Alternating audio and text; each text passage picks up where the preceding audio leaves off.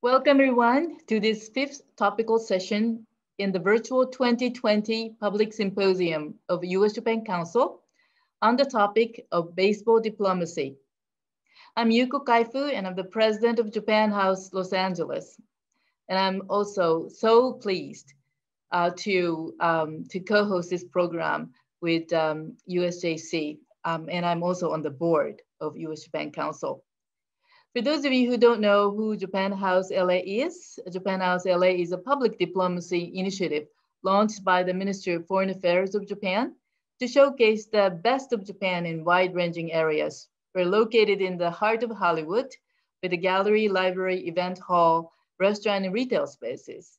Due to the current COVID-19 pandemic, our facilities have been temporarily closed now, but we have been presenting many virtual and online programs, including today's exciting discussions. Uh, before we start the program, I'd like to remind everyone that uh, this session will be conducted in English, but Japanese interpretation is available by clicking on the globe icon at the bottom of your screen. I now like to introduce to you our friend and USJC board member, Joshua Mori, president of the J. Mori Company, who helped organize this dialogue. Josh, take it over. Hi, everyone. I'm Joshua Mori, uh, as Yuko mentioned, president of the J. Mori Company, also owner of Yanase Baseball USA and board member of the US Japan Council. I just want to take this opportunity to thank our many sponsors and promotional partners for your support of the US Japan Council and this symposium. I would like to offer our sincere appreciation to our platinum sponsor, Fabit, and to our other platinum sponsor, the Ford Foundation. I would also like to thank our title sponsors, Central Pacific Bank Foundation, Hitachi, Itoen, Mitsui, MUFG Union Bank, the Terasaki Nibe Foundation, and Toyota Research Institute. I would also like to thank our signature sponsors. We are so grateful for your support in helping make programming like this possible. And to the many companies and individuals who make up our premier sponsors, we truly appreciate your generosity. We're proud of this fantastic group of supporters and couldn't be here without you. Finally, our gold sponsors can be seen on this slide, and we would like to once again thank each and every one of you for your continued support, especially through this most challenging year. I would also like to thank our co-host, Japan House Los Angeles, for all their support and partnership on this session. So I don't know about you, but I'm extremely excited for this discussion because personally, baseball was my first love. I vividly remember my first Dodgers game, also standing in the mirror of my parents' bedroom, trying to replicate Hideo Nomo's pitching windup, and sitting outside every day for my dad to get home to play catch. Fast forward 10 years to my senior year in college, my dad and mom flew out to Chicago for every one of my home games. I know it's just a game, but this simple game of baseball has been part of the glue that has bound my family together. And while I'm personally excited for this panel, I'm also especially intrigued to d- dive deeper into learning how the game of baseball has played and continues to play a role in diplomacy between the US and Japan. In many ways, just like in my family, it's part of the glue that binds us together. Now, before we get to our panel, I'd like to introduce our wonderful moderators, Yuriko Gamo Romer and Rob Fitts. Yuriko Gamo is an award winning director based in San Francisco. She holds a master's degree in documentary filmmaking from Stanford University and is a Student Academy Award winner and National Academy of Television Arts and Science scholar. Her current documentary project, Diamond Diplomacy, explores the relationship between the United States and Japan through a shared love of baseball. And Rob Fitts, our second moderator, is the primary historical research consultant for Diamond Diplomacy. Fitts left academics behind, former archaeologist at Brown University, to follow his passion, Japanese baseball. His articles have appeared in numerous magazines, including the Baseball Research Journal, the National Pastime, and on MLB.com. Fitts is the author of four books on Japanese baseball. His latest, Issei Baseball History, is a personal favorite, as well as, as his other works, Mashi, The Unfulfilled Baseball Dreams of Masanori Murakami, the first Japanese major leaguer, and Wally Yonamine, the man who changed Japanese baseball. Well, hello to everyone. Um, and first, I want to say thank you to US Japan Council, the Japan House of LA, and to all our panelists. Um, I'd like to quickly introduce um, our panel. First, Don Nomura. He was first a baseball player, and then he became an agent. He was the agent who brought Hideo Nomo to Major League Baseball in 1995 and opened the doors for all the Japanese players now joining the major leagues. Then we have Jim Small, Major League Baseball's senior vice president of international, having spent the last 16 years of his life in Japan, is probably suffering some culture shock from being back in the United States right now. Then we have Duane Kurisu. Duane is the minority owner, is a minority owner of the San Francisco Giants and is also organizer and owner of Hawaii Winter Baseball, which is an off-season professional baseball league in Hawaii for minor league players and also um, young players from Japan and Korea. Then we have Matt Murton. Matt is our veteran professional baseball player, having played baseball in both countries.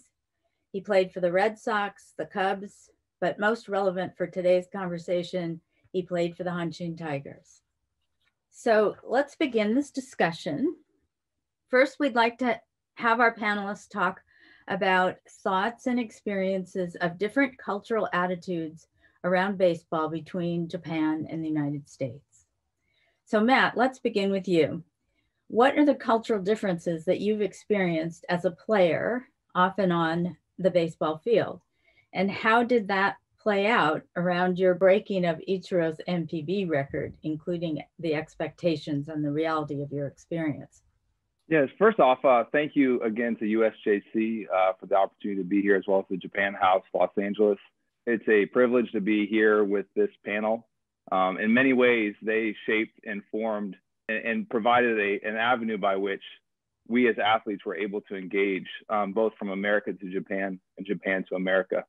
I think one of the things that most people will recognize when you make that journey is that the culture plays a big part in how well you ultimately succeed, how you embrace culture.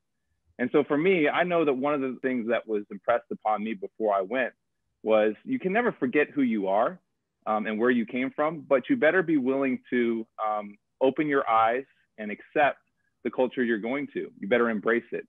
And so that was kind of the way that I tried to um, take on uh, the journey to Japan with my family. And uh, culturally speaking, I think the first day of spring training will certainly provide all that you all that you need to know for what's to come uh, in regards to the differences in how we approach the game here in America as compared to Japan. Uh, in Japan, it, it, was very evident from a very early stage within uh, training camp that uh, repetition was going to be paramount coming from the United States, I always had pride in how hard I would work. In fact, there were times where I had coaches that said I needed to slow down a little bit because I was going to fatigue myself. So I came to Japan with this feeling and this sense of like being prepared for what I was about to uh, embark on.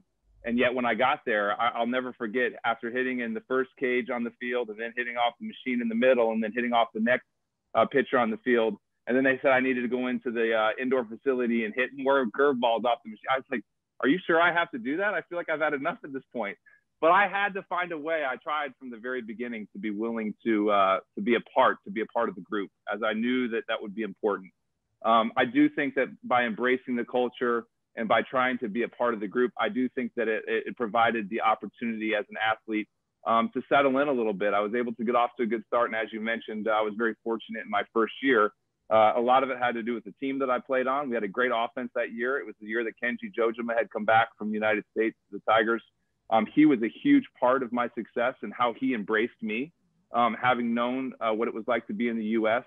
Um, he kind of put his arm around me and was always asking how I was doing and these things, which, as many people know, is probably not common um, necessarily within Japanese culture because we're a lot more reserved. And so for him to reach out the way he did, it was super instrumental. Um, but I do think that a lot of those things and embracing the culture and having guys like Kenji around and a support staff like we did, the Tigers did a good job of supporting us. That has certainly provided us a, a, a, a place to be able to succeed. So do you want to talk a little bit about breaking Ichiro's record? Yeah, so just real quick, I mean, there's so many things that flood your mind when you when you think back on that moment. Um, I think one of the biggest things was is that like for so long, I had look at the end of the day, as individuals, we all want to be successful. There's no denying that. Um, but with that being said, I think one of the ways that an athlete can get outside of their outside of themselves um, is one of the ways they can perform at a higher level because instead of worrying about like me having to get a particular hit, I'm more focused on competing with the pitcher, finding a way to move runners, get guys in, just play the game of baseball.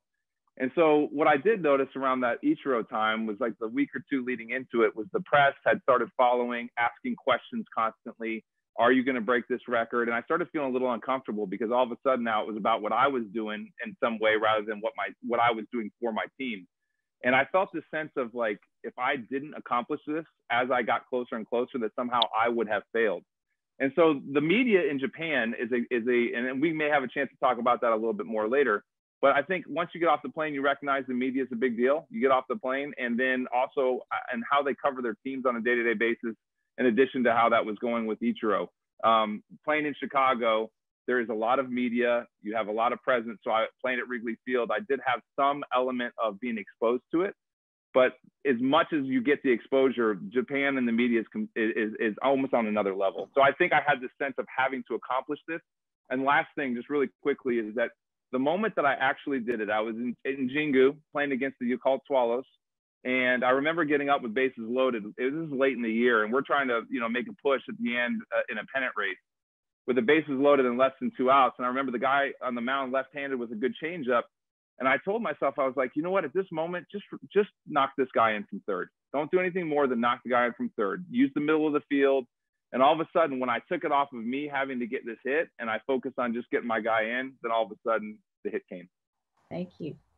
Well, first, I'd like to welcome our panelists today and all our viewers out there. And then I'd like to follow up with a question for Jim Small. Uh, Jim, we just heard about the player's perspective, but could you talk a little bit about uh, the cultural differences between Major League Baseball and Japan baseball from the business perspective?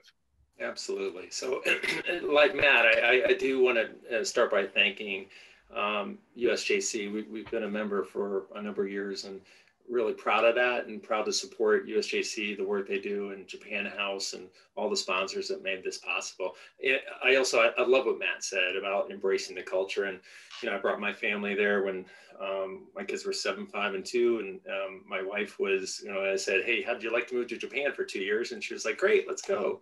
Uh, and it turned into this uh, wonderful odyssey of 16 years, and uh, I think you know my kids and sometimes my wife and I feel sometimes more Japanese than we do American. But um, on, on the business side, you know, it, it's um, I'd say now the, the difference uh, between Major League Baseball and NPB is much much smaller than it was when I got there. Um, you know, we moved there in 2003, and the the, the atmosphere in the ballpark um, was all fan generated, right? So the Ondan, everything that people love about Japanese baseball was there, but it was generated by the fans, not by the club. And I think you know you can make the point that um, baseball in Japan uh, thrived despite the marketing, not because of the marketing. Um, the fans were almost an afterthought. There was a famous um, incident that came out in the newspaper where the president of a Pacific League team, when asked about the fans, said the fans are like carp; they'll eat what we feed them,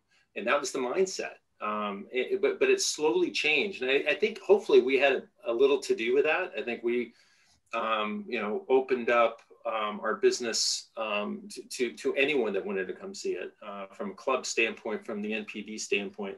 You know, at Major League Baseball, we're not in the business of baseball. We're in the business of entertainment. And we have this three-hour window that we can entertain you, and we control everything in the fan experience, right? Everything except the score of the game and and the weather. You know how and actually we have some dome stadiums. So I guess in those places we do control the weather. Um, but but you know everything in that fan experience, how easy it is to buy a ticket, where that seat is, what the entertainment is, what the food is, all of that we control. So we better give you what you want because if we do, you'll come back. I think you're seeing a lot more of that now in in Japanese baseball. Um, you go to to the game up, you know, to a game up in Sendai. Um, you know, there's a lot of cool stuff going on around that mm-hmm. ballpark that's club generated, right? The Ondan's still there, the, the, the, the, the amazing sounds and sights of, of a Japanese ballpark are still there, that fan generated stuff. But the, the, having the club kind of understand that, you know, in, in a place where Kakasama Kami, you know, where, the, where, the, where the, the customer is, is God. You know, we say the customer is king in America. In Japan, customer is God. I think a lot of Japanese teams are finally realizing that in half of the past four or five years. So I think that it's it's a much closer. Um, uh, we're much closer than we were before. I, I do want to say though that one of my my uh, pet peeves, and I've said this to any, anybody that will listen, is this idea of of still naming your teams after companies is is tough for, for me and for a lot of my Japanese baseball friends to, to you know friends to understand, right? So it, it, you know people are proud. It doesn't matter where you're from, right? You're, you're proud of where you're from. So if you're from Fukuoka or from Sapporo or from Nagoya, that that's your home, and so you want to see that on your uniform. Nobody gets excited about working for you know su- supporting a, a, a drink company. I won't won't name a particular one.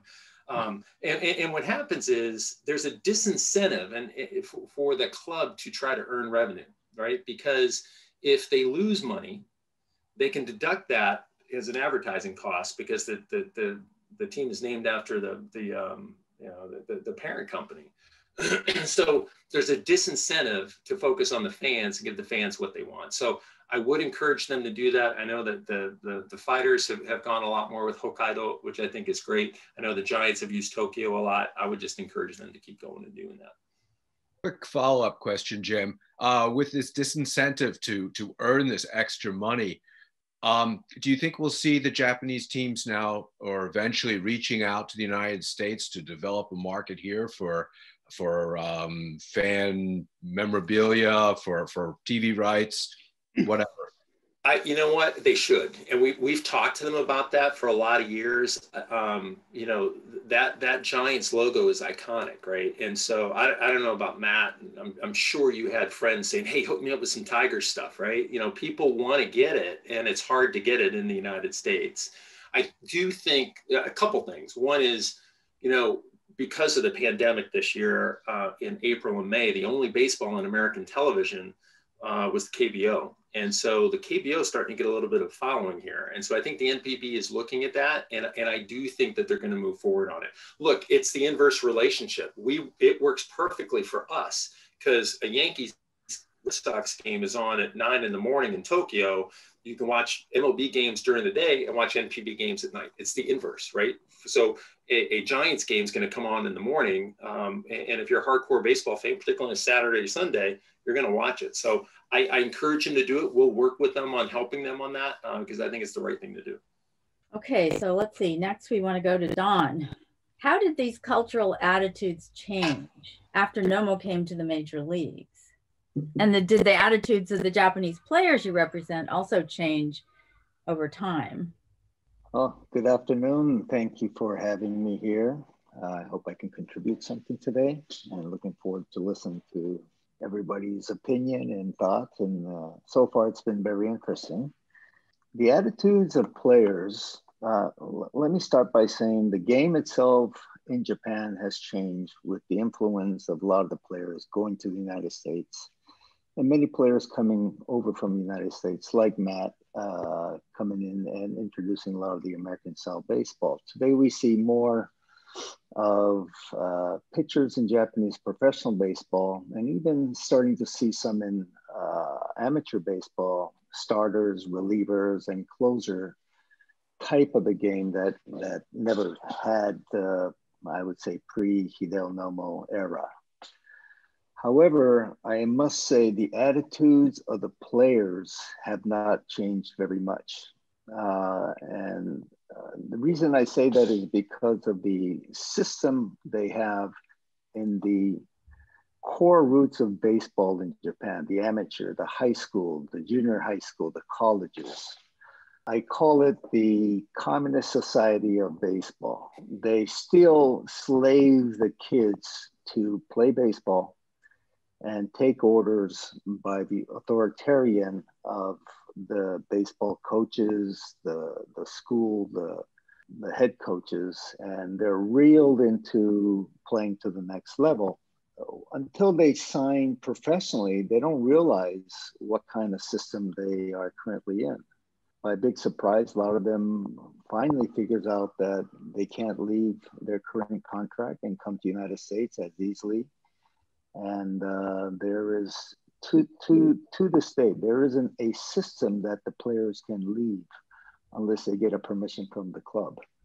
So the mentality uh, of the player itself hasn't really changed that much um, from back in 1995, unfortunately.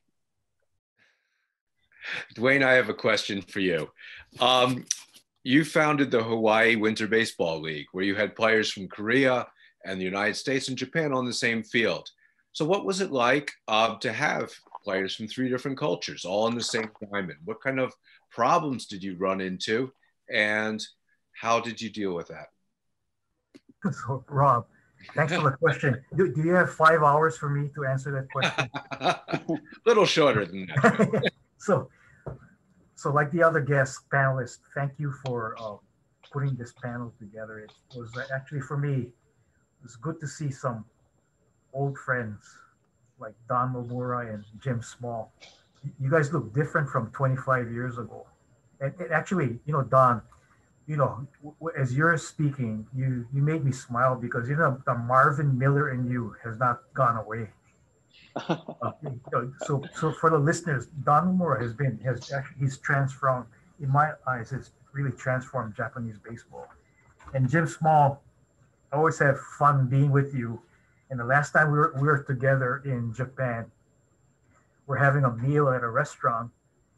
I, I think it was to talk about the All Star game. And this waitress came to see us. And of course, I'm supposed to be an Asian. So she looked at me to speaking Japanese and asking for our order. And I asked Jim, so um, looking, looking at the menu, can you read kanji? He said, no, I can't. So he said, just order by the picture. So I, he ordered by the picture. I said, I want this. And I said, can you order for me too? And actually, you, you spoke in Japanese. You said, ippon, home, whatever, two meals. So thank you. Yeah, I'm not sure you got what you wanted. You might have gotten something very different with my Japanese. And and and Matt, in our uh, pre-conference, uh, good to meet you and hope to get to know you better. And you know, in, in our paths, you play the game. I wish I had your kind of talent. I had to be on the other side. So I'm sure we've crossed paths between Japan and the U.S.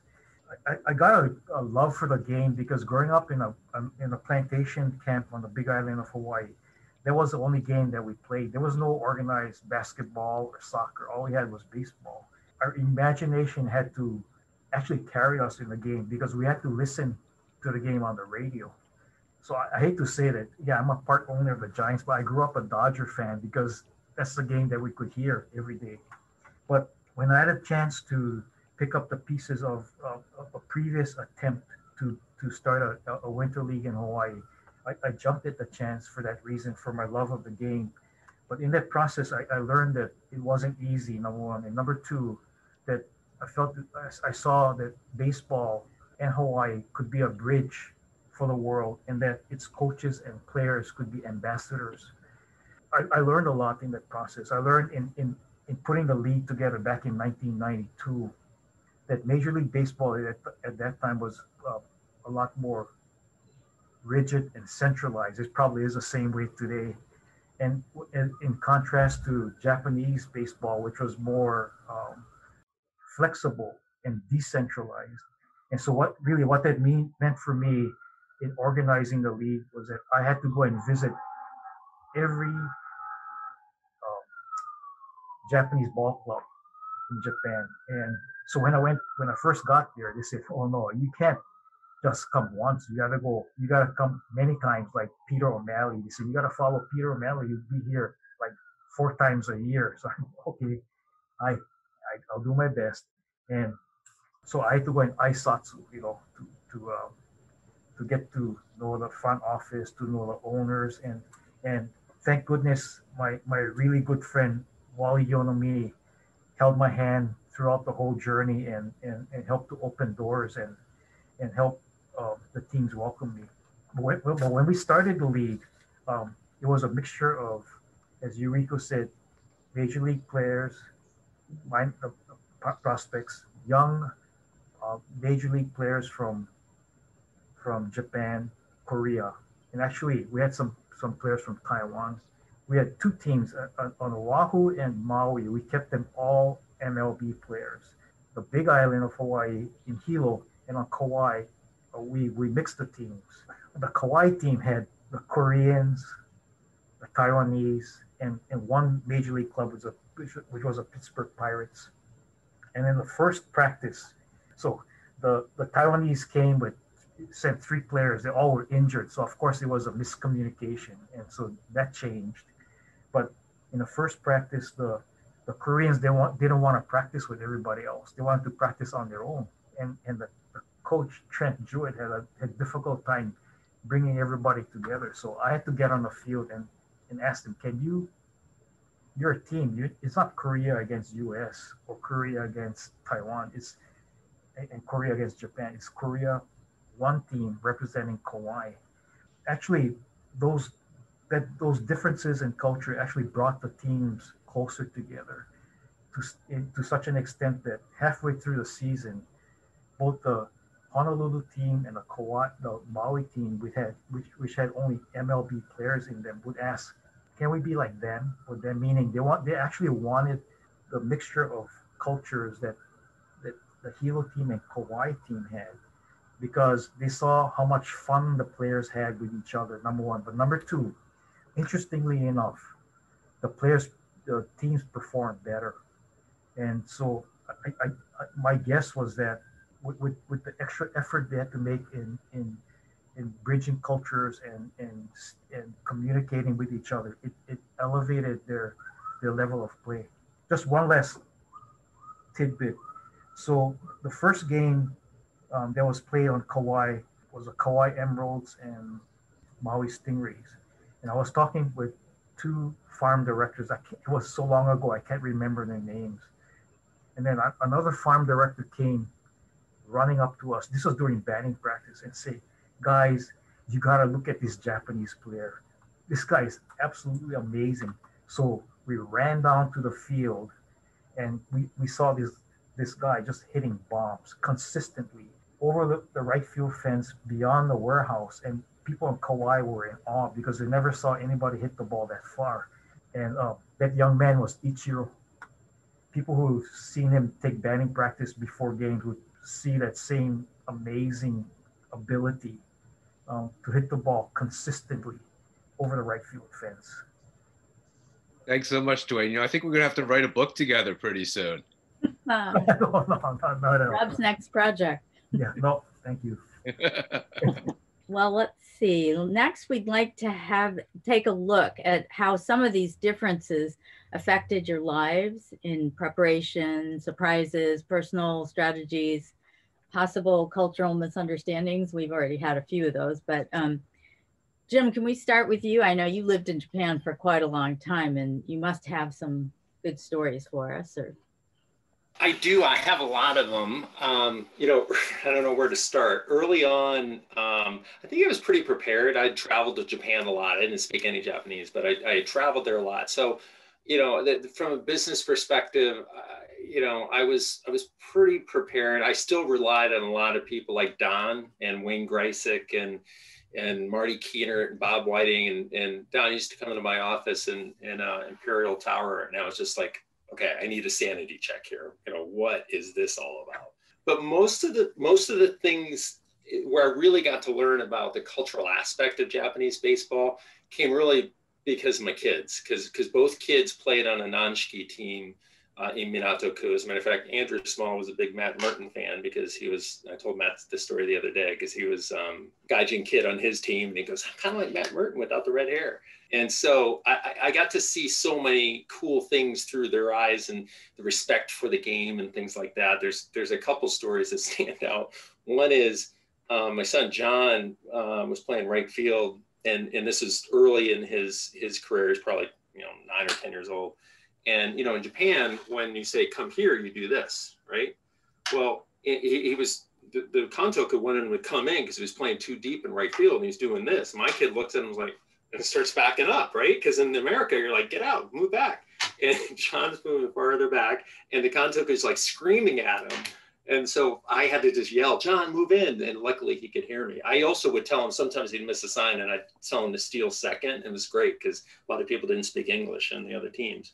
Um, so there are things like that. But you know, the, the story that really stands out to me, and it's not a it's not a cultural misunderstanding. It's it's um, it, it just really uh, underscores what Japanese baseball is, and that was different Kantoku on the team. I was a, the assistant coach or one of the coaches on the team, and I got an email saying that the Kantoku was in the hospital with some, you know, fairly serious liver uh, challenges, and he wouldn't be at practice. And so I go to practice on a Saturday morning, eight o'clock, and who do I see there? And, and, and again, I get there early because you have to get if practice is at eight, you have to be there at seven thirty.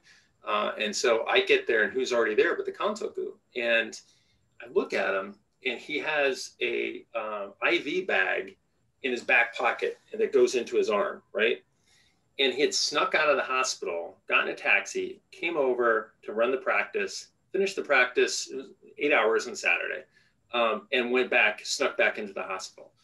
And he didn't he didn't have a kid on the team, right? In, in America, you could say, well, you know, you would do that for your kid. No, his kids were grown; they had already passed. He did that for my kid, and he did it for every other kid on that team. And I've worked in baseball for 38 years.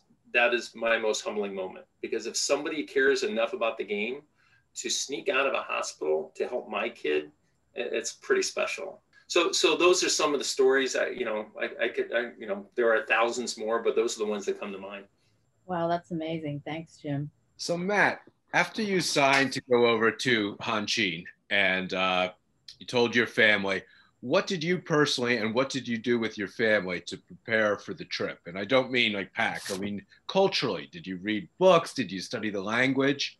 Um, you must have had ideas of what Japan was like in your mind and then once you got there, what went wrong?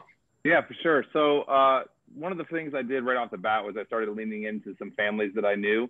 Uh, the Thompson family uh, had he had worked for IBM um, and had spent five years in Tokyo. Um, he was with Chick Fil A, and we had some mutual friends. And so I started leaning into people like that to, to try to gain a better understanding of what the, I was about to get into.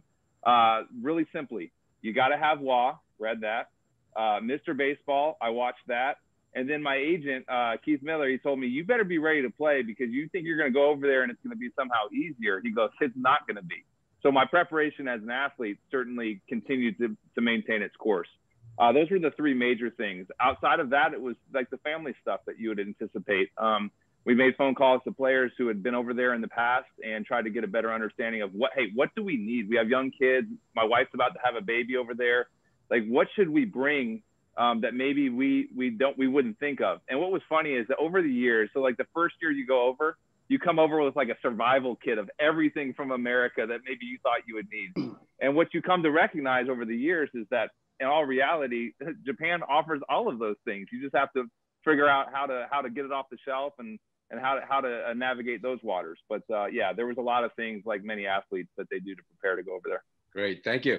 So Duane, in your experiences with Hawaii Winter Baseball or with the San Francisco Giants, do you recall any humorous or surprising stories? I, I, I can ask, like Neil Matt, when, when in your experience in in um, in Japan, that that kind of hit home because I, I think that no matter how good you are, and no matter what your physical talents are, it's it's not easy for foreign players to succeed in Japan and because you need to easily adapt to and embrace the Japanese culture as you had mentioned. And so, you know, during as I mentioned that I I had to go and make aisatsu with all the different ball clubs many times over. And once I, I remember going into Fukuoka Daiei Hawks back it was Daiei Hawks back then. And I I saw an American player. So I went up to him as he was eating and I asked him, so, so how are things going? And he had, he was holding his two chopsticks, one in each hand, and trying to eat the noodles. And he's saying, "Oh, it's it's great. I love this place." I, I, I thought to myself, "Man, this guy isn't gonna last too long in Japan." So, Matt, I don't know if they gave you allow they're kind enough to give you a fork, but in this particular case, this guy said there was nothing else for him to use except for chopsticks. But in Hawaii Winter Baseball, it was a ritual with the Maui team. During the first, prior to the first game, they'd select a Japanese player who'd come up to me and, and speak to me in English.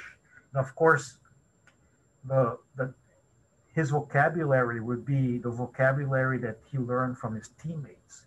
Every single time this Japanese player would come up to me and, and say, I know what I'm saying is not politically correct. Of course, he didn't use the word political, but he said, I know, I know I'm not correct. But of course, he'd greet me with all these swear words, right? One swear word after another. And so it, it, it, it was part of the fun of um, that whole league.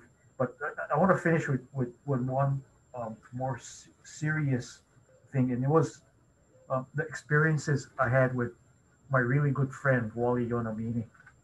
So in my many visits with him and in our travels together, I saw things and I experienced things with him that still today would amaze me. And so once we were in a cab going from Marunouchi back to Akasaka, and as a as the cab was, I remember this really clearly. As the cab was passing Hibiya, cab driver just stopped, just screeched on his brake and just stopped.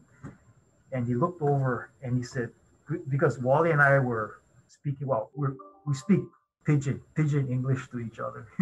was, that was what our, our way of communicating. So like the guy turned around and said, asked, are, are you Wally Yonamine? And Wally said, yes. And he said, you know, my life was so difficult for the past few months. And now that you wrote, you wrote written in my tab, I know the rest of my life is going to be okay. And so I, I, I told Wally, man, I like hanging around with you. Maybe some of that would end up um, uh, helping me. And he said, and then with that, he said, well, I, I hope, I, I wonder if he's going to let us ride the cab for free. And I'll let you think about whether he let us ride for free or not. But we, we all need heroes. And I think the game of baseball has uh, allowed that to be and allow children and adults alike to dream and, and to have hope for our future. And I feel like probably the rest of the panel is so so um, proud and, and privileged to have been involved with the game. Thank you, Duane. Yeah. So Don, Yes. you of course are bilingual, you're bicultural, and as an agent, you deal with managements and players from both Japan and the US. Can you talk a little bit about the strategies you use? When do you put on your Japanese hat? When do you put on your American hat? When are you Japanese? When are you American as it suits you? It's a very interesting and uh, question, and I, I really starting to understand culturally and biculturally in the, probably the last 10, 15 years. But uh, Duane just mentioned a very important word, uh, aisatsu, which means to go out and greet people. Uh, this is very important part of the Japanese culture. And there's another word, nemawashi, is um, making necessary arrangements. So it's like uh, backdoor handling, meeting people, preparing for the moment of negotiations. And in Japan, for my experience, yes doesn't necessarily mean yes. And that's been my biggest uh, mistake in, in the early part of my uh, growing up because in Japan, people would say yes. And then from my Western um, studies, yes means yes, we have agreed to something, but doesn't necessarily mean they have agreed. It means yes, I understand your question, but that doesn't equate to doing business. And I'm sure Jim has gone through all that as well. Uh, so those are things that uh, really uh, threw a curveball at me. So today I kind of, in Japan, I do business as a Japanese with a little Western flavor. And in the States, I do business as a American with a little Japanese flavor. And I try to mix it up and try to use the best of both worlds to uh, introduce each culture uh, so people can understand and clarify things as we go along. So uh, that's pretty much how I handle the two cultures. Thanks. Thank you. Here we go. On you and I are going to have to have some conversations later because I know that girl. Um, so, but finally, um, we'd like to address the shared love of baseball and how this connects our two countries. We wouldn't be having this conversation today if we didn't talk about that. So let's see, we'd like to start with Duane and how your work with the San Francisco Giants have connected with Japan through baseball and also reached out to the Japanese American community. So the, the Giants, as um, well as just about all the other major league clubs, all have um, reached out to Japan in attempt to uh, to develop working agreements and to to work on getting players to play for that team. And in, in this in, in working agreements, it will be like in, the, in shared marketing and sharing um, training ideas and and analytics. But when I became a partner of the Giants back in 1996, Peter Magowan, our managing partner then, reached out to me and asked if I can coach their international director, who just a year before um, got added response. He was a um, he was in charge of Latin America, and he got added on the responsibilities for Japan. So listening to to Don Nomura uh, also made me smile because um, here, here this guy would say, I've been going to Japan. I went there twice. I did my job. And because every place that I went to, everybody said hi. So everybody agreed with everything that I had to say. So I don't have to go back again. So I had to explain to him, as like Don said, that, you know, hi doesn't mean yes. It means uh, I hear you. And so, of course, I, I, can't remember the guy's name because I don't think he lasted very long as the international director for for the Giants. But as Don said, bridging that that language barrier, in just in that word "high," is is is is critical in not only in baseball but even in business. It's, it's the same way in business. So the Giants also reach, reaches out to the Japanese American community with the Japanese Heritage Night and we try to we've made a number of attempts to sign um, Japanese ball players, and and the most recent one was uh, Nori, Norichika Aoki, and so um, I was asked to introduce him to the um, the Japanese public in Japantown in San Francisco, and he's he spoke Japanese and had an interpreter, but then he said in English that his his name. You can just call me Nori. So I said, okay, you're you mean seaweed, like seaweed. And so we we all had a laugh and continued to laugh about that. But I think it was just a, a, like an entree for for for Nori, for seaweed, uh, in, in, into the, the San Francisco community, which has a large Japanese American population as compared to the, the cities that he was in. He was in Milwaukee and, and, and Kansas City before that. And so it's, I, I, I hope that his time there, even if he was there just a year, was as um, as memorable and fun for him as it was for him to be on our team. But baseball has come a long way, and and um, especially today, um, you know, um, baseball gives us a foundation of hope and for racial and cultural tolerance and collaboration and something that this world needs today more than ever. Thank you very much, Duane, for that. Yeah. Don, I have another question for you. Yes, sir. When we're talking about baseball diplomacy and bringing the countries together through baseball, I feel that one of the most important people who've done that on a big scale was Hideo Nomo and that's kind of ironic because Nomo, from what I understand, was kind of um, a very quiet guy. He didn't really like to be in the public eye.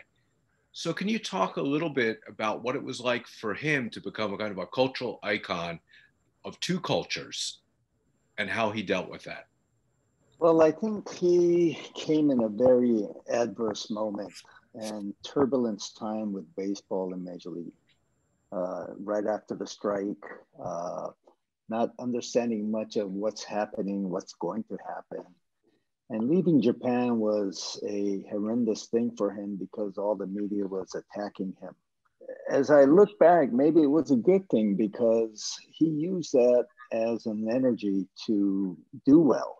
But I, I think most importantly, he had many advocates that supported him, including Peter O'Malley, uh, Tommy Lasorda, and and the people at the Dodgers were wonderful supporting. And as he started pitching well, I think uh, the fans turned and really supported him in many ways. So making a transition from Japan to US wasn't as hard because O'Malley family, and I think we chose the right club uh, we're signed with.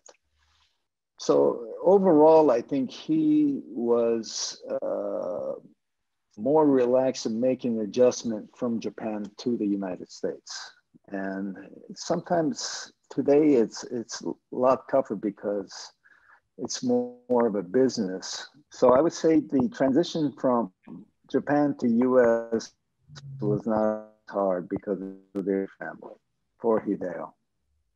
Any player be hard coming from Japan or coming from the United States and making adjustments uh, in living in a different city, country, culture, or changes from where you were, you know, brought up. So, but I think baseball is a tool where people can make adjustments on the cultural thing and learn things through baseball, uh, Japan and the U.S.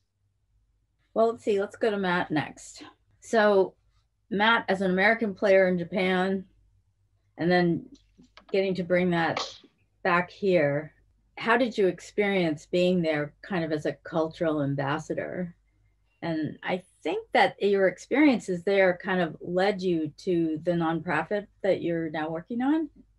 Yeah so i think i think like uh, some of the uh, uh, the other guys were kind of explaining i think that i i certainly am extremely grateful uh, to the game of baseball and what it has provided not only me but my family. You know I, i'll never forget um, sitting at the table um, having a pregame meal, and whether it was in the United States or it was in Japan, and you start looking around the table and you recognize that there are a lot of different people that don't all look exactly like I look or talk like I do, and yet we're all here sharing this meal together. We're sharing this field together, and um, you know that was certainly evident in Japan.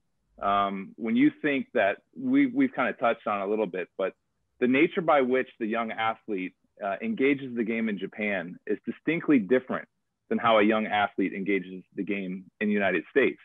And I used to tell myself, here's this little redheaded boy from Fort Lauderdale, Florida, and yet there I'm sharing this table and this field with guys who grew up in sometimes in rural parts of Japan um, that again went about it completely differently. So to watch the game of baseball uh, bring us together whether it was the Latin American players in the United States or again, you know, I remember as a little boy listening to these stories is really cool because there's so many things that, that it comes back to my memory. As a little boy watching Hideo Nomo, I think that Hideo Nomo again transcended uh, culture because there was this guy that had this unique pitching motion. I remember as a kid, we would all mimic his pitching motion.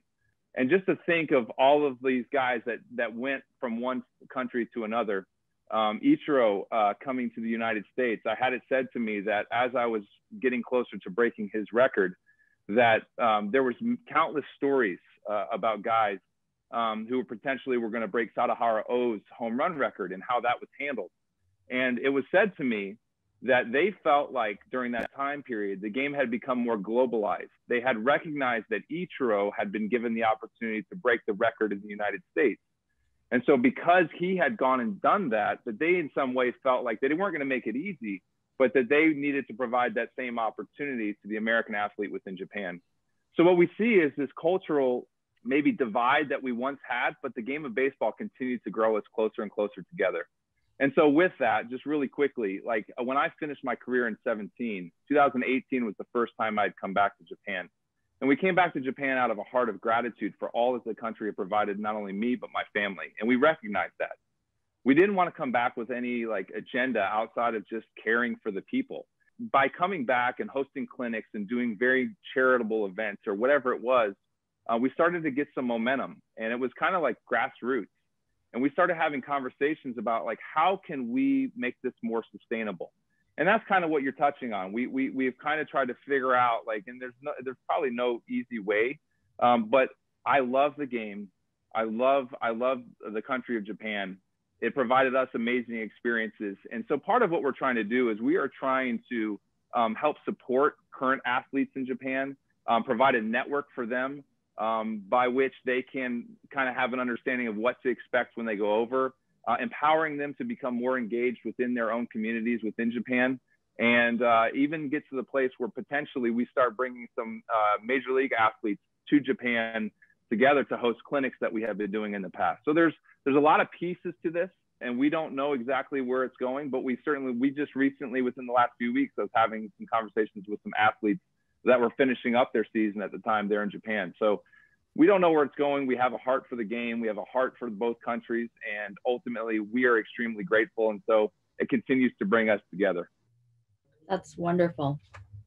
So, Jim, can you talk a little bit about the Major League Tours of Japan and how they have brought uh, Japan and the United States closer together? And then finish up by talking about your cultural expectations of the World Baseball Classic. Could it bring about world peace? Yeah, absolutely. The um, you know, I think the other guys in the panel probably have heard this before. I'm sure a lot of the a lot of the people who've logged on have heard this, but um, you know, this this phrase, whether it's true or not, depending on you know, the industry where you are, but this phrase that you know, the in Japan, the penalty for taking a risk and being wrong is worse than the reward for taking a risk and being right. Right. So we've I know if you've heard that before. I heard it a lot, and I think that extended to baseball. I mean, I never never played on the field the way Matt did or the way Don did, um, but but I think it extended into baseball, and, and and I would see that you know we'd go over in Nichibei Yakyu in the All Star Series, and we'd win every game. We'd kick their butts, and um, and, and I had a, I heard a coach say to me once that one of our coaches, a major league coach, that geez, this game game goes really fast for him, right? And, and a good baseball player game goes slowly. You know, they, they know where the ball is going to go. If the ball hits them, they know what they're going to do.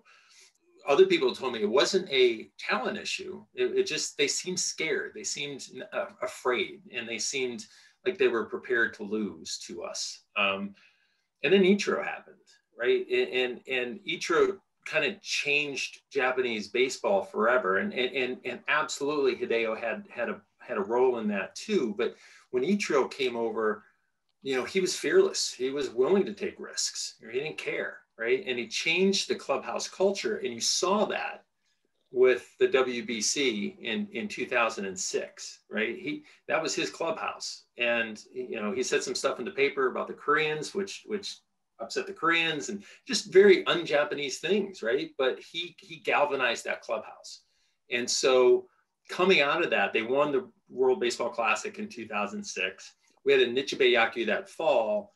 I don't think things had caught on yet, but we had a great team that went over. It was Ryan Howard, Chase Utley, and Joe Mauer, and Jose Reyes, and these guys, and we won all the games. But they came back, and Ichiro came back with that 2009 WBC team that won. And that team had, I think, 11 or 12 players, including everyone that we've talked about today Nori, Aoki, and, um, and uh, you know, uh, Johjima, and a bunch of those guys and they, they won the WBC. And then after that, that changed everything for us on the Nichibei Yakyu side. We used to be able to go over and have a couple workouts in LA and then go over and win all the games. And that changed. In 2004, we got beat. In 2016 or 2014, we got beat. 2016, we got beat. 2014, we got beat. You know, we got a we got no hit at the Tokyo Dome, right? So as the marketer of, of Major League Baseball in Asia, it's like yeah, it was a little hard to market that. You know, we, we, we sent over our all star team and we got no hit. Uh, and, and Robbie Cano was on that team and Altuve and guys like that. So I think you, you can you can clearly draw this analogy to me to what Ichiro meant um, and, and into that clubhouse and what that's meant to international baseball. So having Japan win the first two WBCs really kind of sent a message to everyone else that we got to go, you know, we got to get better. And so, you know, fortunately for the tournament, um, you know, the Dominican Republic won um, in 2013 and the United States won in 2017. So I think everyone's had to up their game. And I think you can bring that back to WBC. And, and, and that's, that's why I'm or, and the Japan's um, you know performance in the WBC. So you know I think the World Baseball Classic is um, you know we've got some some things we're working on that I think everyone's going to be you know excited to hear. We're going to announce something probably hopefully in the next six months or so. We have a lot of we believe in the future of that tournament, um, and we believe that Japan has a major major role in that tournament. So Jim, when is the next WBC?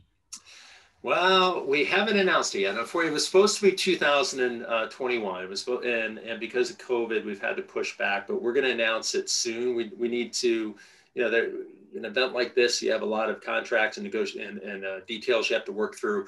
We've just about worked those through, but I think you'll see us announce something in the next six months. But there will be one.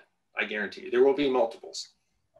Thanks, Jim. Okay, so yeah. we're running short on time now, but we have a chance to take a few questions, and there's a lot of great questions in the uh, bullpen here. Um, I'll just kind of pick a couple, and maybe we'll get through them. First one's really for Don. What are the primary motivations for uh, Japanese players coming to Major League Baseball right now? Is it monetary, or is it the idea to prove yourself? Is it cultural? What are your views on that? I think it's uh, generally both, uh, depending on the individual. Um, as you know, athletes are very competitive and they would like to challenge to be in the best area. Uh, Major League Baseball has the best level of high skilled baseball players. Uh, monetary issues also important because baseball players' career are very short. Uh, so I think it's really both, but um, I, I think if you weigh it on, on a scale, I think it's the competitiveness that they want to come out here to the United States and play. Thanks. Yuriko, you want to take the next question? Um, sure. Okay, so what is the future of young of young players' development in Japan and the U.S. and given the effects of COVID nineteen and minor league baseball and how it's kind of shrunk back. What do you think about the future of young players in Japan and in the U.S.? Let's see. That anyone in particular, or? Uh, Jim, you want to handle that for? Should have remained mute. um, no, the uh, look. I think that I'll speak on, on the on the U.S. side and some of the changes in the minor leagues. I, you know, I, I think that you know there will be obviously there will be changes into the minor league system. I think that they're going to benefit um, players. I think you're going to see more players going to college in the United States as opposed to going to the traditional system. And I think that's positive. I think that helps the athlete mature more. Um, you know, personally, I, I, I, see some of the challenges that we have, particularly in bringing international players. You know, the player science. We have a we have a, three academies in China. Kid signs at 18 years old.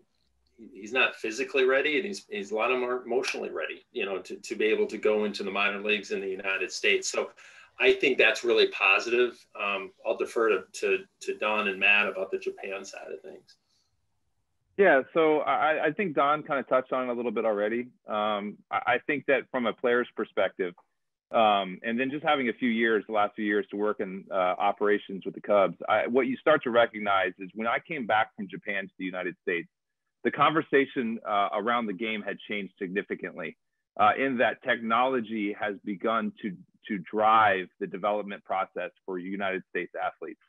So we are at a at, at an era by which greatest uh, output, whether it is exit velocities off a bat or velocity on the mound, uh, is starting to drive the conversation. Again, it's been five years since I was last there as an athlete in Japan, but Japan was not there yet. I know that the TrackMan systems were starting to be installed in the stadiums um, and so forth and so on. But going back to what Don touched on, um, there was much more of a militaristic type style to the development of the athlete within Japan, um, to the point where, um, and, and, learning from one another, um, I certainly think the United States could find a way to become uh, more willing to be a part of a group, uh, being willing to check one's own ego, even though we all have them at the door, and being a part of a whole.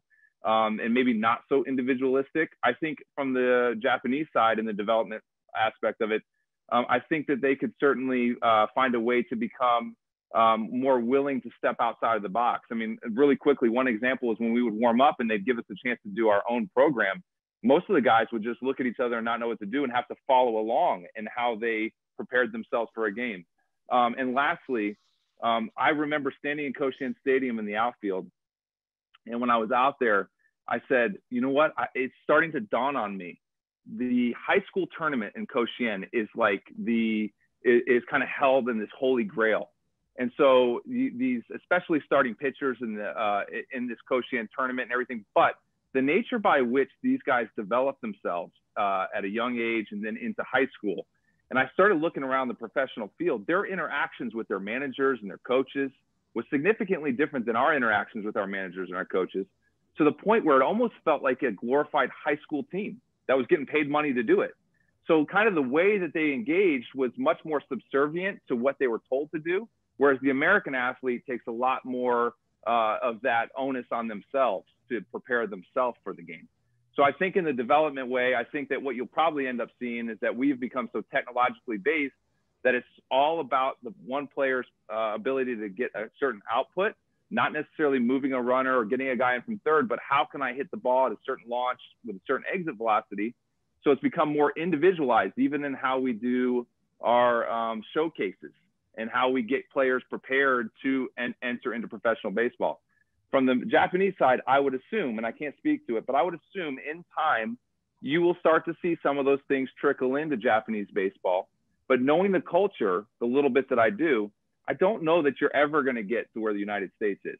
So I think there's always going to be a little bit more of an element of repetition and militaristic style and how we develop compared to the United States being more individualized. Thank you, Matt. Sorry, sorry, I got going. no, that's okay.